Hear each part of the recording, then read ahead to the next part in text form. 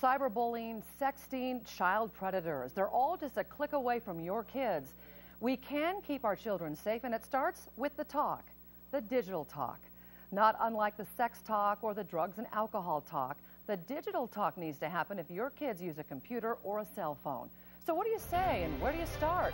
KXLY4's Robyn Nance is here to help. Robyn?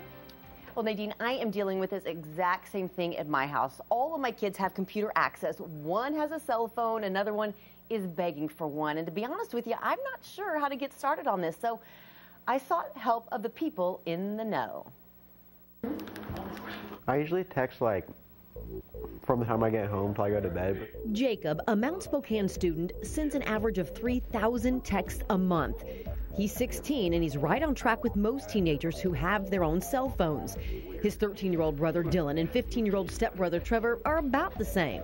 I don't really like talking on the phone, just texting is just easier for me. All three boys have their own cell phones, their own iPads, and computer access, which their parents find beneficial. The primary reason was for us to have communication with them and a sense of responsibility. Mary and Brian Payne focus on responsibility and allowing the boys the privilege of technology ownership. We want to instill with them as far as like if someday when they have to have a job and are working, if they don't fulfill certain expectations, things get taken away. The Paynes have strict rules with no gray areas. Abide by the rules or lose the privilege.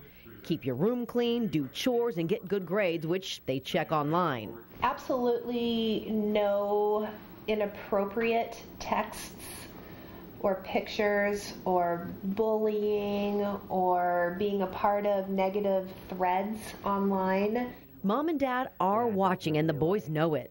Before like every like Facebook post or like tweet I make, I like think, will my parents be okay with this? And like sometimes it's like, oh, I, I better not say that. That's the kind of forethought Hannah Masters would like to see mm-hmm. more from teenagers. Things that are posted online live forever. Hannah runs a company called abeanstalk.com, whose purpose is to educate and engage parents and young people about cyber safety. So why the name A Beanstalk? Our generation immediately thinks of Jack and the Beanstalk. Well, our children are spending a lot of time in the cloud, and we needed a way to connect us as parents to that world. It's a world that can be intimidating for the technologically unsavvy. Many of us don't have a clue how to navigate this with our children, much less begin the conversation. A Beanstalk makes it very easy with an internet mobile safety pledge aimed at keeping our children safe. I promise not to meet anybody in real life that I met online.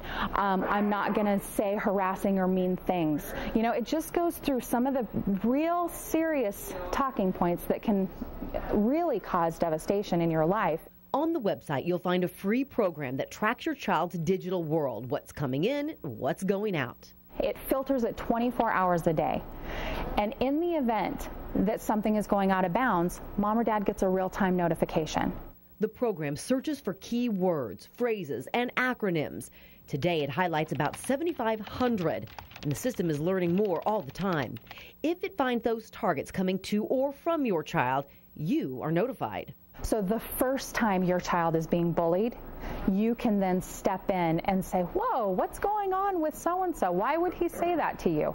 You can upgrade that service for a monthly fee. You can add a GPS tracker on your child's phone. My child knows I trust him, but I can verify at any time that he's where he's supposed to be. And that is a nice, that helps him. It also gives him that thing to fall back on when his friends say, oh, let's go do this. And he can go, no, I'm supposed to be here. My mom can check. And when parents are engaged, both the parents and children have peace of mind. I know it's like, oh, good for the long run. But